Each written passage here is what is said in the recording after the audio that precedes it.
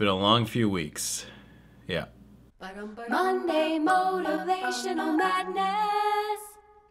A crazy good way to start your week. Hola, you amazing artists, and welcome to this Monday Motivational Madness. The only reason that I'm doing this video right now is because we are taking the day off to get our bearings. Um, in case you haven't noticed, I have not groomed my beard, and in fact, not much has happened in the way of like getting groceries and uh, doing anything other than working on the book. That means bathing the house, grooming, cleaning the house, uh, doing anything else. It just has gone out the window. When it comes to projects, I tend to obsess a little bit on what I'm working, especially if I have a deadline or something on it. Like basically, it's all I think about right now. I feel like somebody who's been on a boat for a long time and just got onto land, and you know that that like sea legs feeling that you get.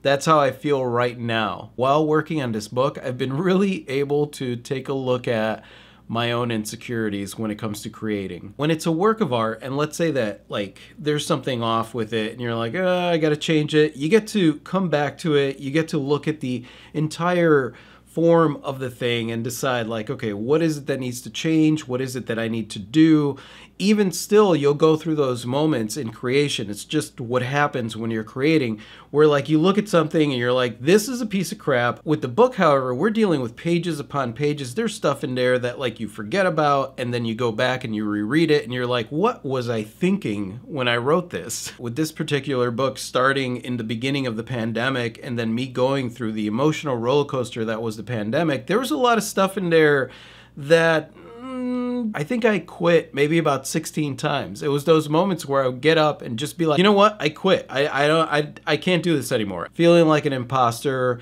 feeling like you suck and you're not going to be able to do this right. Feeling all those feelings that come up in your mind at the stickman is like, oh dude, you you are going to put this out in the world and everyone is going to hate you. You might be working on it and you're like, God, I don't like this. I don't like the way, the direction that it's going. I'm not sure what I'm going to do with it and then immediately you bring someone else into that picture and it becomes this whole thing where like everybody's to hate it everybody's to think this i hate it. So what is it that i do for example with this book or the paintings or music or anything like that where i'm sitting there and i'm like i suck this sucks everything sucks everybody's to hate it. I put myself in a position where it is to go out there. It's to go out there regardless. Like it basically I don't give myself the option to burn that bridge and be like, you know what, uh, just quit, just forget it uh, don't even do this because I know that a future version of me would be really disappointed in the fact that I didn't follow through, that I didn't complete this, that I didn't finish that painting, that I didn't finish the song that I wanted to work on, that I didn't put it out there. And what that does for me is that no matter what voice is happening in my head that is telling me that I'm gonna suck, you can't do this art show because you don't have anything good, you can't do this, you can't do that,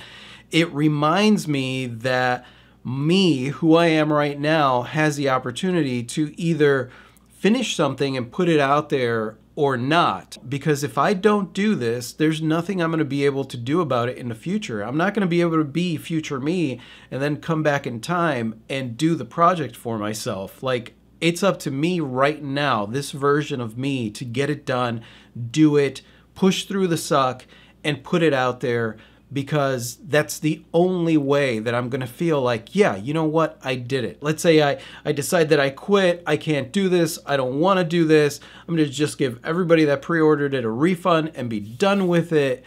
I know that I'm going to be disappointed in myself. I've gotten to a point in my art career that it is much more important for me not to be disappointed in myself than to put something out there that sucks and that people hate the thing about it is that whether you're working on a painting, whether you're working on music, whether you're working on anything, anything that you're working on that you want to put out into the world, you're going to have to push through that emotional garbage. You're going to have to, when it comes to doing a show for the first time, right? The emotional garbage that comes up is that like nothing you have is any good. Everything you do sucks. This is blah, blah, blah. You know, like all those voices that come up. It is much better to put something out there, to create something, to finish through it, to really push through that and that feeling that you get when you hit that moment because you will always hit that moment with something where you're like, I think I've got it. I think I've got it. And that's the moment that you want, right? Yes, it's going to suck and it's going to be a roller coaster until you get there, but you will always reach that moment where you're like, I think I've got it. And that's what you want. For my Monday motivational madness, and I hope that I'm able to motivate you with this, is just do it. Just do it now so that later on you don't have to look back and say, well, I wish I would have done it. You've got it. You can do it. Because once you get there, then you don't have to worry about in the future looking back and saying, like, I wish I would have done it. I wish I just would have stuck with it a little bit longer. I wish I would have just pushed through it because you don't want to be there. You can't do anything once you're there, but you could do something now. Now, now, now. And that's it, you guys. So, quick update we are still working on the book. So, as far as our recording schedule, uh, we're not back because we're about to finish up the marketing book and we still have the money and workbook left to finish up. Next time, remind me to just work on one book instead of whatever was going on in my brain. I was like, hey, why don't we just do three books? So if we're a little quiet on here for the next couple weeks, um, you know that that's what we're doing. Either way, today we're gonna do groceries and clean the house and you know all the stuff that normal people should be doing instead of completely obsessing over a book. So yeah, so wish us luck with that. We haven't been outside for a while, so I'm not even sure I know how to operate uh, out in real land.